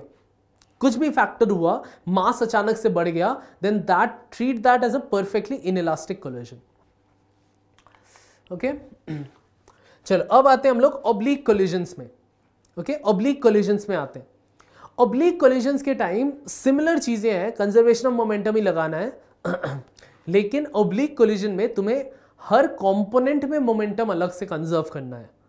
मतलब अगर ऐसे ये बॉल हिट करके बाउंस करके जा रहा है और ये ऑब्लिक कोलिजन है, साफ़ दिख रहा है स्ट्रेट लाइन नहीं जा रहा है it's going in a oblique angular way तब तुम्हें कोई भी एक्सेस ले लो परपेंडिकुलर दो एक्सिस ले लो, हर एक्सिस पे तुम्हें अलग से मोमेंटम कंजर्व कराना पड़ेगा। ओके तो जिस एंगल पे हिट करेगा, उस एंगल पे एग्जैक्टली exactly वो बाउंस नहीं भी कर सकता है। ठीक है? डिपेंडिंग ऑन कैसे तुम्हारे वेलोसिटीज चेंज हुए किस टाइप का मोमेंटम या किस टाइप के कोएफिशिएंट ऑफ़ रेस्टिट्यूशन है उस कोलिजन में, उसके अकॉर्डिंग ये बाउंस एंगल भी अलग हो जाएगा। Okay okay? तो देखते हैं ये वाला केस बिफोर कोलिजन जहाँ, यहाँ पे दिया हुआ है before collision it has the ball has the velocity v cos theta and v sin theta horizontal पे उसका वी साइन थीटा रहेगा। अगर मैं यहाँ पे कर लू, ये angle will be theta by alternate angle तो इस डायरेक्शन पे will be v cos theta और इस डायरेक्शन पे will be v sin theta sorry उल्टा कर दिया मैंने। उल्टा कर दिया। इस तरफ़ होगा cos थीटा क्योंकि वो थीटा वाला एंगल के साथ है। इस तरफ़ होगा कॉस थीटा और इधर होगा साइन थीटा अब कोलिजन जो होगा, उस टाइम पे हमें बस वी कॉस थीटा वाला पार्ट में ही कोलिजन को स्टडी करना है। सिर्फ़ ये वाला, क्योंकि देखो कोलिजन ग्राउंड के साथ हो रहा है तो सिर्फ़ ये वाला वेलोसिटी ही उसके कोलिजन में कुछ कंट्रीब्यूट करेगा। जो सीधा जा रहा था, उसमें तो कोई चेंज है ही नहीं। उसके ऊपर तो टेक्निकली कोई, देखो, कोई कोलिजन होता है मतलब एक फोर्स लगता है। एक कोलिजन जब हो रहा है there is a force over there right तो कोलिजन के टाइम वो फोर्स की वजह से ही टेक्निकल इंटरनल फोर्स है, लेकिन वो फोर्स की वजह से ही मोमेंटम चेंज होता है। ठीक है? इंटरनल फोर्स है। यहाँ पे वो फोर्स टेक्निकली बाउंस कर रहा है मतलब वो फोर्स नॉर्मल रिएक्शन फोर्स होगा, या जो भी वहाँ पे लगेगा, उसका फोर्स होगा। तो वो फोर्स हमेशा वर्टिकल लाइन पे एक्ट करेगा। तो इसीलिए अगर उसको वेलोसिटी चेंज करना है तो वो सिर्फ़ ये वर्टिकल वेलोसिटी को ही चेंज कर पाएगा हॉराइजॉन्टल को वो छू भी नहीं पाएगा। तो this sin theta part will remain unchanged the cos theta part will be affected ठीक है? तो ये बता देखो, बाद में after collision it is v sin theta only right in that direction लेकिन the vertical component is now e v cos theta e है कोएफिशिएंट ऑफ़ रेस्टिट्यूशन ये हमने पिछले जब हमने बाउंसिंग बॉल किया था, वहीं पे देखा था कि स्पीड लिटरली ई टाइम्स हो जाता है, हर बाउंस के बाद. क्वेश्चन ऑफ़ रेस्टिट्यूशन टाइम्स हो जाता है. इसीलिए वी कॉस थीटा से अब ई वी कॉस थीटा हो गया। डायरेक्शन भी बदल गया ऑब्वियसली बाउंस किया, लेकिन साथ में उसका मैग्नीट्यूड भी चेंज हो गया। तो वहीं से तुम देख सकते हो कि अब एंगल क्या होगा? जब यहाँ पे थीटा था तो तो this tan theta was coming from v sin theta by v cos theta ठीक है? Vertical by horizontal sorry by horizontal by vertical in this case क्योंकि थीटा यहाँ पे दिया हुआ है राइट right? यहाँ पे अगर सेम करता हूँ मैं हॉरिजॉन्टल बाय वर्टिकल तब देखो अकॉर्डिंग टू दैट मेरा tan थी phi becomes tan theta by e the angle becomes tan of the angle becomes one by e times तो वो एंगल भी चेंज हो जाता है बेस्ड ऑन किस टाइप के कोलिशन है। ओके और जो फाइनल मैग्नीट्यूड अगर पूछा तो magnitude is root over v square sin square theta plus e square v square cos square theta ये तो दिख रहा है। दो परपेंडिकुलर वेक्टर्स दो परपेंडिकुलर कंपोनेंट्स उनका resultant okay if asked what is the change in momentum of the ball, there is no change in momentum along the horizontal. Only the momentum changes in the vertical direction. Vertical direction में यहाँ पे momentum याद रखना momentum का magnitude नहीं बोल रहा हूँ मैं। मोमेंटम चेंज हो रहा है। क्यों? क्योंकि पहले वर्टिकल मोमेंटम डाउनवर्ड्स था, अब वर्टिकल मोमेंटम अपवर्ड्स है। ठीक है? उसकी वजह से चेंज हो रहा है। सॉरी मैग्नीट्यूड भी चेंज होगा ई e का फैक्टर आएगा, लेकिन हॉराइजॉन्टल में कोई चेंज नहीं है। टोटल मोमेंटम चेंज नहीं होगा, क्योंकि टोटल मोमेंटम अकॉर्डिंगली अर्थ के मोमेंटम के साथ भी रिलेटेड है। तो जो भी इसका मोमेंटम कम गया, वापस जाते टाइम वो एक्चुअली अर्थ को ट्रांसफ़र हो गया। लेकिन अर्थ का मास इतना ज़्यादा है दैट वी डोंट उसको भूल सकते हम। Okay the momentum change is m v cos theta one plus e that is the momentum change in this block याद रखो, यहाँ पे मैं कोलिजन कर रहा हूँ, लेकिन कोलिजन में दो बॉडी नहीं कर रहा हूँ। इसीलिए मैं सिर्फ़ एक बॉडी के मोमेंटम चेंजेस दिख रहे हैं मेरे को। मैं अर्थ को कंसिडर ही नहीं कर रहा हूँ। और इसीलिए coefficient of coefficient of restitution इतना पावरफुल है, क्योंकि वो तुम्हें एक बॉडी के बेसिस पे भी कोलिशन स्टडी कर। अगर तुम्हें दूसरे बॉडी का ज़्यादा इंफॉर्मेशन नहीं भी पता है, चल जाएगा तुम्हारा। ठीक है? तो यहाँ पे it is v cos theta ऊपर है ई वी कॉस थीटा तो technically the change in momentum is v m v cos theta minus minus of minus e v cos theta क्योंकि इसका डायरेक्शन ऑपोजिट है। अकॉर्डिंगली वन प्लस हो जाएगा। Right students ये bouncing में अगर किसी को डाउट हो डू लेट मी नो ये वाला क्वेश्चन देखते हैं। It says in a gravity free region a ball moving with speed of 10 root two collides at an angle of 45 degree as shown if e is equal to 1 by 5 find the speed with which the ball goes back and the angle 5 तो formula नहीं लगाते quick derive कर लेते हैं। 10 root to है मतलब इधर 10 होगा, इधर 10 होगा। 45 डिग्री एंगल पे। ठीक है? वन बाई रूट टू का फैक्टर आएगा 10 10 निकलेगा इधर उधर। अब टेन वाला चेंज हो जाएगा by a factor of e so technically when it bounces off इस वी का, इस वी का, इस साइड वाला component will be 10 into e that is 10 into five that is equal to two और ये वाला अनचेंज रहेगा एट 10 ये वाला अनचेंज रहेगा एट 10 हॉरिजॉन्टल वाला चेंज नहीं होता. तो if I now want the angle अगर मेरे को एंगल चाहिए, ये एंगल है phi right then tan phi is equal to 10 divided by 2 vy vx by vy यहाँ पे, that is phi is equal to tan inverse of 5 वो angle पे ये जाएगा, जो कि 45 डिग्री नहीं होगा माइंड यू 45 और और ज़्यादा चपटा होके जाएगा, क्योंकि उसका स्पीड कम गया है। It will come at this angle लेकिन बाउंस करेगा और चपटे एंगल पे। राइट? और क्या पूछा है? Speed with which the ball speed तो यार आसान सा है। V is equal to root over of v x square plus v y square so ten square plus two square v is equal to root hundred and four इसका root वोट नहीं निकलेगा, अभी रूट के हालत में इसको छोड़ते हैं। Okay let's move ahead students I hope clear है ये वाला। ये हमने जैसे निकाला। चलो। यहाँ पे दिया हुआ है if if a ball is projected with a speed of v at an angle theta with the horizontal and the coefficient of restitution between the ground and the ball is e then determine theta 1 theta 2 theta 3 so on in terms of theta तो ये तो मैं directly निकाल सकता हूँ इसी से देखो अगर लॉन्च हुआ है लॉन्च हुआ है तो टेक्निकली इधर है v साइन थीटा इधर है v cos theta right bounce करने के टाइम भी सिमिलर चीज़ होगा बाउंस करने के टाइम जस्ट बाउंसिंग से पहले मोमेंट पे वो v साइन थीटा गेन करेगा और इस डायरेक्शन पे रहेगा v कॉस थीटा अब v कॉस थीटा तो चेंज होगा नहीं. दैट इज़ द वाला. वो चेंज होगा नहीं. लेकिन बाउंसिंग के बाद ये v साइन थीटा हो जाएगा e v sin theta bouncing के बाद इसका will be e v sin theta तो उसके अकॉर्डिंग हम लोग निकाल सकते हैं. Tan theta tan will be e v sin theta by v cos theta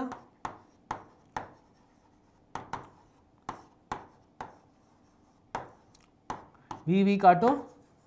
so tan sorry ये थीटा वन करते हैं। Tan theta one is equal to e tan theta that's it आगे वाले भी अगर करते जाएँ तो ये आएगा तुम्हारा थीटा टू तुम देखोगे tan theta two similar logic पे, अगर तुम यहाँ थीटा वन से मोशन स्टार्ट करते तो सिमिलर लॉजिक पे आता e tan theta one tan theta one e tan theta है तो tan theta two is equal to e square tan theta one right ये चीज़ें रिपीट होते रहेंगी मतलब tan theta n will be equal to e to the power n times of tan theta that's it mind ध्यान में रखना, पिछली बार जब हमने किया था, तब हमारा one by tan theta by e आया था। क्योंकि वहाँ पे हमने एंगल वर्टिकल वाला एंगल लिया था। यहाँ पे हॉराइजॉन्टल लिया, इसीलिए ई टैन थीटा है। इसीलिए फॉर्मूला को रट्टा मत रखो। मेथड को समझ लो, जैसा लगेगा, जिस मोमेंट पे लगेगा, तुम क्विकली डिराइव कर पाओगे। Okay okay? चलो, ये वाला क्वेश्चन देखते हैं।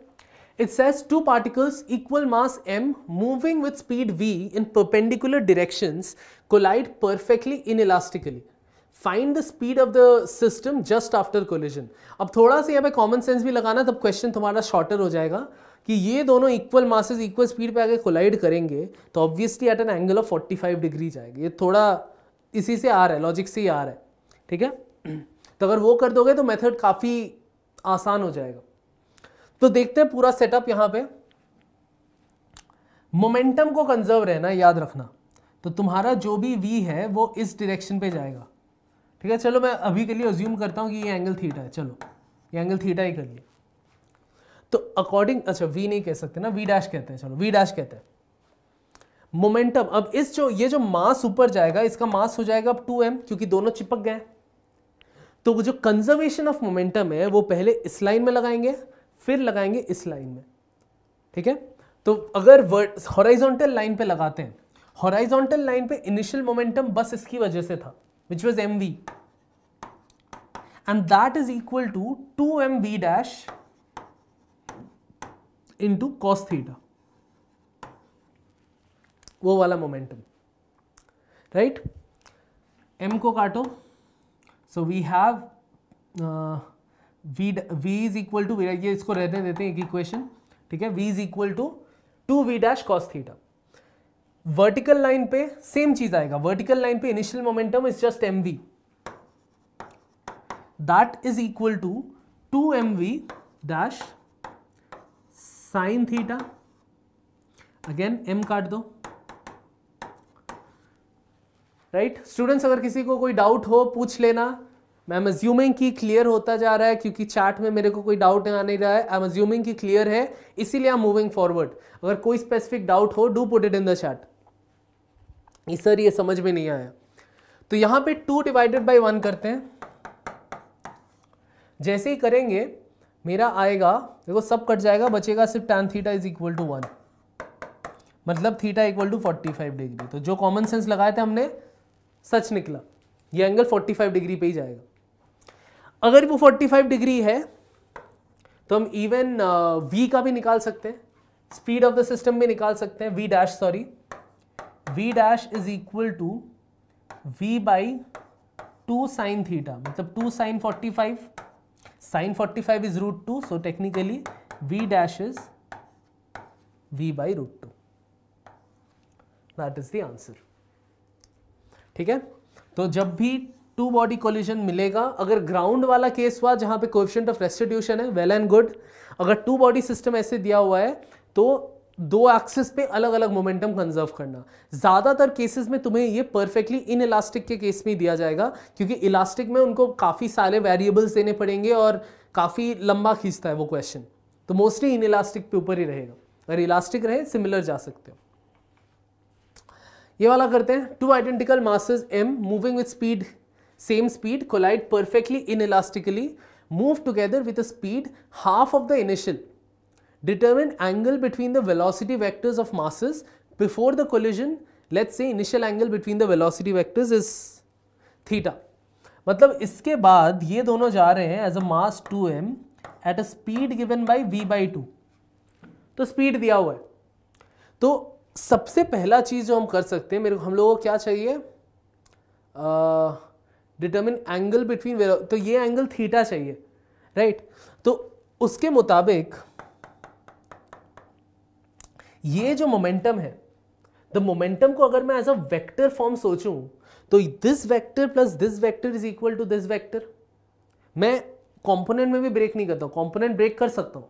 कंपोनेंट में ब्रेक करूँगा तो मेरा थीटा बाई टू वगैरह आ जाएगा, ठीक है? थीटा बाई टू का पॉइंट आ जाएगा। तो मैं वो करना नहीं चाहता तो इंस्टेड ये पी वन वैक्टर है, ये पी टू वैक्टर है राइट मोमेंटम और इस साइड पे P P P three vector ठीक है कंबाइंड मोमेंटम तो अगर डायरेक्ट मोमेंटम का इस वेक्टर फॉर्म पे करें तो P three vector is P one vector plus P two vector तो the magnitude of p3 vector is equal to root over of p1 square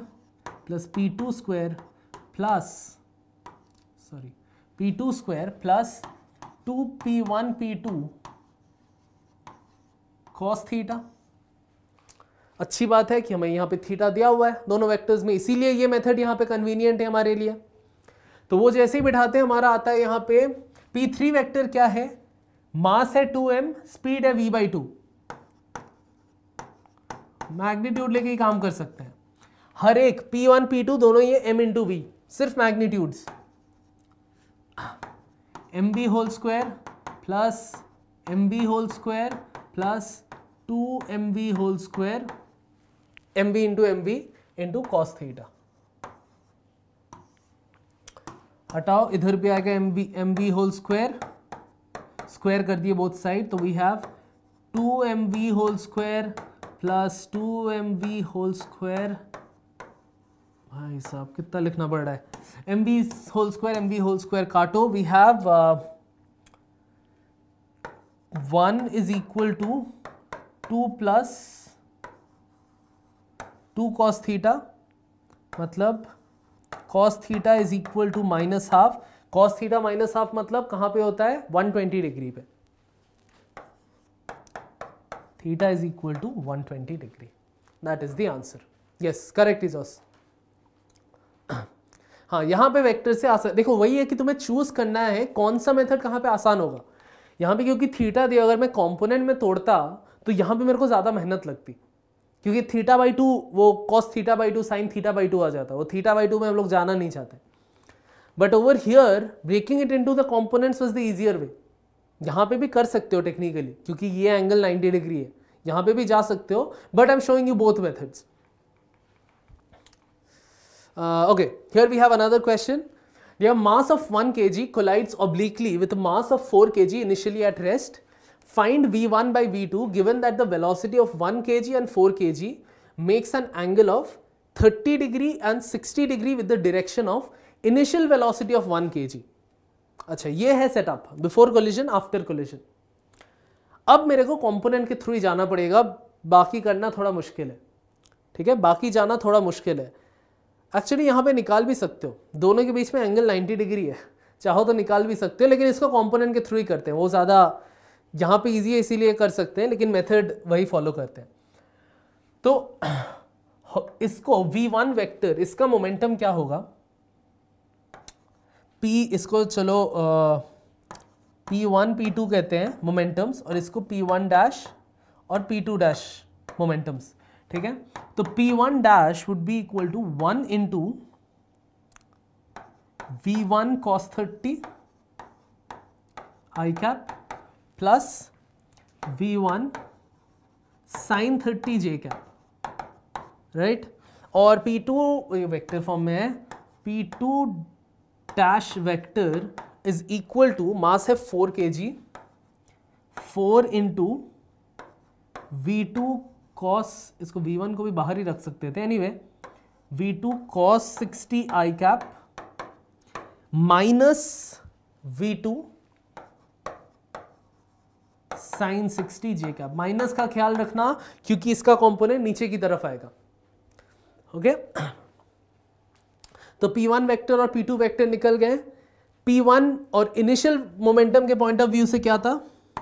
P1 vector was equal to just V और किस दिया हुआ है?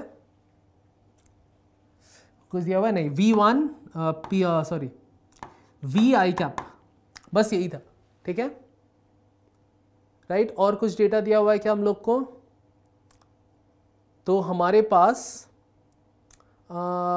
obliquely with mass four K G V one by V चाहिए okay देखते हैं।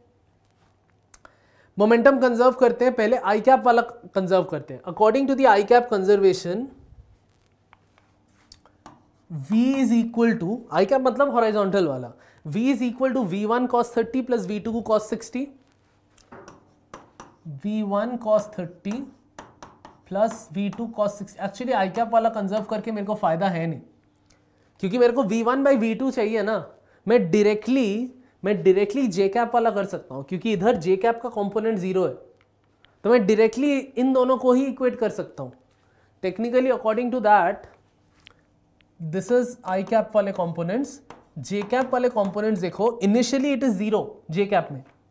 तो zero is equal to V one sine thirty minus V two V two sine sixty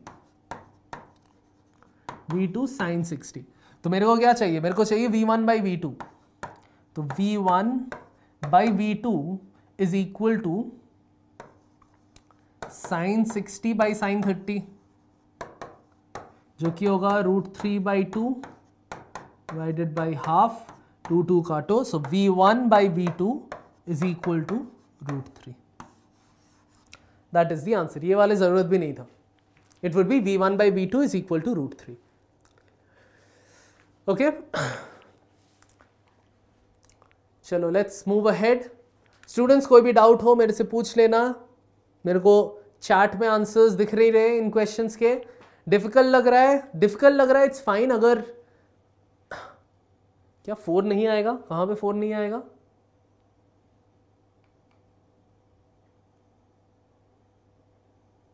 O right right right right right right right good point good point four में मिस ही कर गया था। इसका तो सामने एक फैक्टर ऑफ़ फोर था राइट ये फोर वी टू होगा। अगर ये फोर वी टू हुआ तो उधर आएगा, एक फैक्टर ऑफ़ फोर आएगा साथ में। So it would be four here so answer would be four root three correct correct good point is ऑस good point four root three आएगा ये। ये मैं यहाँ पे ये मोमेंटम के पॉइंट ऑफ़ व्यू से जो मास फोर के जी था, उसको मैं इग्नोर कर गया था। करेक्ट थैंक यू इजॉस चलो, अगला है। Okay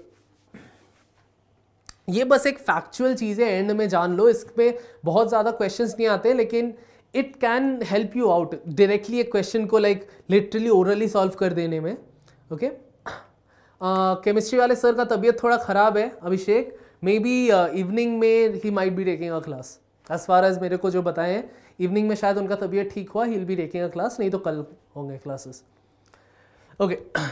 If a mass moving with a certain speed collides तो ये ओब्लिक कोलिजन है, ठीक है? ओब्लिक कोलिजन में ऐसा है कि दोनों इलास्टिकली कोलाइड करने हैं और आइडेंटिकल मास मतलब इक्वल मास होने ये एक स्पेशल क्राइटेरिया होता है फॉर ओब्लिक कोलिजन कि अगर इक्वल मासेस कोलाइड इलास्टिकली तब आफ्टर कोलिजन वो दोनों ऐसे जाएँगे कि देर कि देर माय बैड ऐसे जाएँगे कि दोनों के बीच का एंगल 90 डिग्री होगा।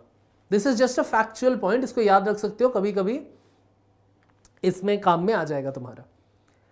ओके okay, इस पर कुछ क्वेश्चंस भी मैं अभी डाला नहीं हूँ it's very basic stuff over there okay तो आज के लिए स्टूडेंट्स यहीं तक रखते हैं कोलिजन इज़ डन कल लेके आएँगे हम लोग P Y Qs of work power energy 2023 के अपडेटेड होंगे।